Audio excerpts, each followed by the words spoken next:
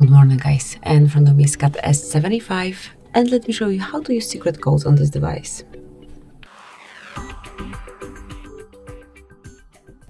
So at first open your phone gallery, then click on keypad and let's start with the first code which is asterisk pound, asterisk pound, 426, pound asterisk, pound asterisk. And here we've got the FCM diagnostic mode in which you can check events and status. If you wish to get a bit more info, tap on more icon and select advanced view.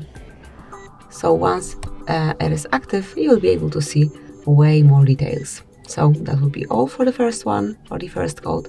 The second uh, is a bit shorter and it is asterisk pound 06 pound.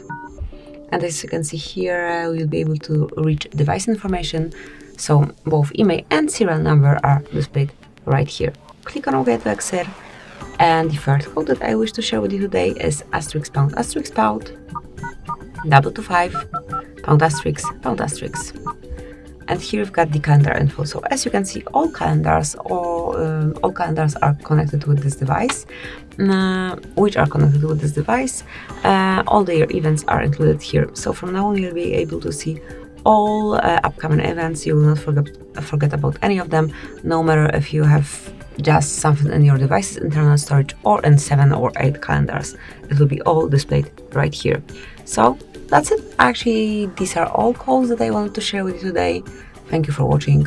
Please subscribe our channel and leave the thumbs up.